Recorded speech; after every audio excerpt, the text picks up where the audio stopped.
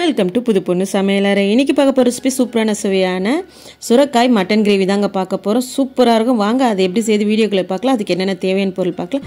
வாங்க வீடியோக்குள்ளே போகலாம் கிரேவி செய்ய நான் நானூறு கிராம் அளவுக்கு கறி எடுத்திருக்கேன் மட்டனு இப்போ வந்து நல்லா சின்ன சின்ன துண்டாக போட்டிங்கன்னா நல்லா வந்து சாறு இறங்கும். பெருசு பெருசாக படுறத விட சின்ன சின்னதாக தான் வந்து நம்ம கறி எப்பயுமே அரிஞ்சு போகணும். டேஸ்ட்டும் நல்லாயிருக்கும் ஒரு கால் ஸ்பூன் அளவுக்கு மஞ்சள் போட்டுக்கலாம். நல்லா கழுவிட்டு கறியை ஒரு ஒரு கிளாஸ் அளவுக்கு தண்ணி வச்சவே போதும். ரொம்ப தண்ணி வந்து வைக்கவே தேவையில்ல. தண்ணி நிறைய வச்சிங்கன்னா கிரேவி வந்து நல்லா இருக்காது. மீடியமாக தண்ணி இருந்தால் தான் சீக்கிரமாகவும் நம்மளுக்கு வந்து தண்ணி வடிய ஆரம்பிக்கும். இப்போ நல்லா மிக்ஸ் பண்ணி விட்டுட்டு குக்கர் வந்து நாலு விசில் வச்சு எடுத்துக்க வேண்டியது தான் அந்த அளவுக்கு வைக்கும்போது கறி நல்லாவே வந்து நம்மளுக்கு வந்திருக்கும். நிறைய விசில் வச்சாலும் கறி வந்து ரொம்ப குழஞ்சு போயிட்டாலும் செய்ய நல்லா இருக்காது. இப்போ நான் வந்து ஸ்டவ்வில் வச்சுட்டேன். இப்போ நாலு விசில் வந்ததுக்கப்புறமா கிரேவி வந்து எப்படி செய்து பார்க்கலாம். தவா வச்சு நல்லா ஒரு நாலு ஸ்பூன் அளவுக்கு எண்ணெய் ஊற்றிக்கலாம் எண்ணெய் ஊற்றிட்டு தாளிப்பு பார்த்திங்கன்னா பிரிஞ்சி இலையும் பட்டை சுருள் பட்டை போட்டால் இன்னும் சூப்பராக இருக்கும். அதனால் சுருள் பட்டை சோம்பு சீரகம் இது ரெண்டு கால் ஸ்பூன் கிராம்பு ரெண்டு மூணு மராட்டி மொகு போட்டிங்கன்னா சூப்பராகவே இருக்கும். ஒரே ஒரு ஏலக்காய் போட்டுக்கலாம். இதெல்லாம் நல்லா வந்து ஓரளவுக்கு கோல்டன் ப்ரௌனாக ஆகணும். அப்போ தான் நல்லாயிருக்கும் மராட்டி மொகு வந்து இந்த மாதிரி கிரேவி குழம்புக்கு போட்டால் மட்டும்தான் நல்லாயிருக்கும் மற்றபடி வந்து அதை அவ்வளோ யூஸ் பண்ணவே கூடாது. வாசனை அதிகமாக இருக்கனால சொல்கிறேன் வாசனை அதிகமாக இருந்தால் சாப்பிட நம்மளுக்கு பிடிக்காது. இப்போ நல்லா பொரிஞ்ச உடனே வெங்காயம் பார்த்திங்கன்னா நான் ரெண்டு வெங்காயம் நல்லா பெரிய சைஸாக எடுத்து பொடியாக கட் பண்ணி வச்சுருக்கேன். அதையுமே கூட சேர்த்து நம்ம நல்லா வந்து வதக்கி எடுத்துக்க வேண்டியது தான் நல்லா வந்து வதக்கணும். கோல்டன் ப்ரௌனாக நம்ம கிரேவி செய்ய போகிறதுனால குழம்பா இருந்தால் கூட பரவாயில்ல. கிரேவி செய்கிறதுக்கு நல்லா வந்து நம்மளுக்கு வதங்கினா மட்டுமே சூப்பராக இருக்கும். நல்லா கோல்டன் ப்ரௌனாக வந்து வதக்கி எடுத்துக்கலாம். ரெண்டு தக்காளி நல்லா பழமாக எடுத்து அதையும் நல்லா பொடியாக கட் பண்ணி எப்பயுமே நம்ம கிரேவி செய்ய நல்லா பொடியாக தக்காளி வெங்காயம் கட் பண்ணாவே நம்மளுக்கு நல்லாவே கிரேவி வரும். அந்த மாதிரி நல்லா வந்து வதக்கி எடுத்துக்க வேண்டியது தான் இப்போ நல்லா ஓரளவுக்கு வதங்கிடுச்சு. ரெண்டு ஸ்பூன் அளவுக்கு இஞ்சி பூண்டு பேஸ்ட் போட்டு நல்லா வதக்கி எடுத்துக்கலாம். அப்பைக்கப்போ நீங்கள் இஞ்சி பூண்டு அரைச்சி செய்யும் போது வாசனையாகவே இருக்கும். நம்ம வந்து நிறைய அரைச்சி டப்பாவில் வைக்கும் போது வந்து இஞ்சி பூண்டு பேஸ்ட்டும் நல்லா இருக்காது.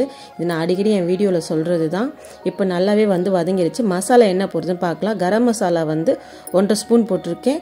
விருமிளகாத்தூளும் அதே மாதிரி ஒன்றரை ஸ்பூன் அளவுக்கு போட்டிருக்கேன். ரொம்ப காரமாக இருந்தாலும் குழந்தைங்க விரும்பி சாப்பிட மாட்டாங்க. நம்மளுக்குமே வாயெல்லாம் எரிய ஆரம்பிக்கும். அதனால இப்போ வந்து நல்லா வந்து மிக்ஸ் பண்ணி விட வேண்டியதாக டேஸ்ட் இருந்தாவே போதும். கால் ஸ்பூன் அளவுக்கு மஞ்சள் போட்டுக்கலாம். மஞ்சள் போட்டு இது எல்லாமே நல்லா நம்ம மிக்ஸ் பண்ணி விடணும். நல்லா பச்சை வாசனை போகிற அளவுக்கு நல்லா மிக்ஸ் பண்ணி விட்டால் சூப்பராகவே இருக்கும். எண்ணெயில் அந்த மிளகாத்தூள் எல்லாமே அதோட பச்சைத்தன்மைலாம் போய் நல்லா நம்மளுக்கு வதக்கும் போதே நல்லா வாசனையாக இருக்கும்.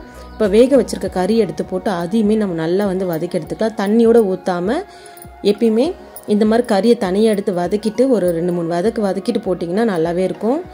கறியோட மசாலா போட்டும் வேக வச்சு செஞ்சால் அது ஒரு டேஸ்ட் வேறு மாதிரி இருக்கும். இந்த மாதிரி வேக வச்சு நம்ம ம கிரேவி செய்யும்போது சூப்பராகவே இருக்கும். சுரக்காய் வந்து பார்த்திங்கன்னா சின்ன சைஸ் சுரக்காய் தான் எடுத்தேன். அது நல்லா வந்து பிஞ்சாகவே இருந்ததுனால நான் அது உள்ளே இருக்க விதைகள்லாம் எடுக்கலை. அப்படியே போட்டு அதையுமே நல்லா மிக்ஸ் பண்ணி விட்டுட்டேன். நல்லா மிக்ஸ் பண்ணும்போது சூப்பராகவே இருக்கும். இப்போ வந்து தண்ணி அதிகமாக எதுவுமே ஊற்றலை கறி வேக வச்சுருக்க தண்ணி மட்டுமே ஊற்றினா போதும். நல்லா டேஸ்ட்டாகவே இருக்கும்.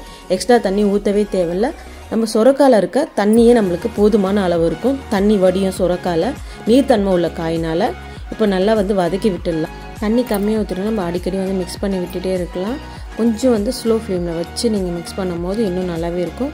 கொஞ்சம் போல் கல் உப்பு போட்டுக்கலாம். நல்லா வந்து இப்போ கொதிக்க ஆரம்பிச்சிருச்சு. சீக்கிரமாகவே ரெடி ஆகிடும் ஏன்னா தண்ணி அதிகமாக ஊற்றலை அதனால் இப்போ மறுபடியும் வந்து ரெண்டாவது ஸ்டேஜில் வரும்போது மறுபடியும் மிக்ஸ் பண்ணி விடலாம். நம்ம அடிக்கடி மிக்ஸ் பண்ணி விட்டுட்டே இருந்தால் தான் நல்லாவும் இருக்கும். இப்போ வந்து நல்லா கொதிக்க ஆரம்பிச்சு நல்லா தண்ணி வடிய ஆரம்பிச்சிருச்சு.